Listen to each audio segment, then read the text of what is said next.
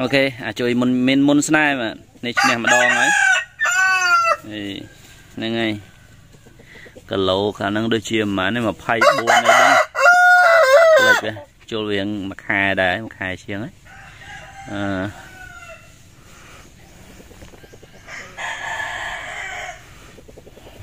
សង្ហាខ្លាកនេះគឺថាអែមទទួលយកបានយ៉ា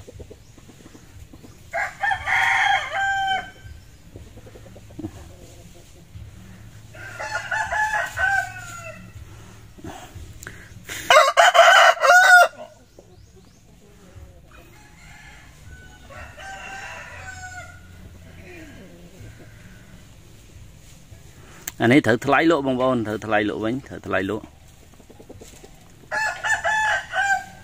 មកនេះហើយ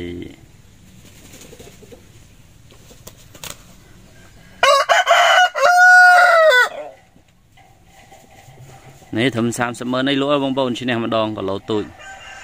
វាមិនទូចហ្មងណាព្រោះវាមិនតាន់សាច់មូលផងមន់គីឡូ24ដែរ ថ្ងៃចូលស៊ីសាហាវណាចូលអត់ចូលទេប្រះវាយប្រះវាយមកហ្នឹងហើយអរគុណបងប្អូនហើយ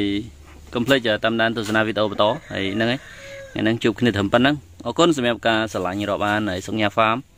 ទាំង Facebook ទាំង YouTube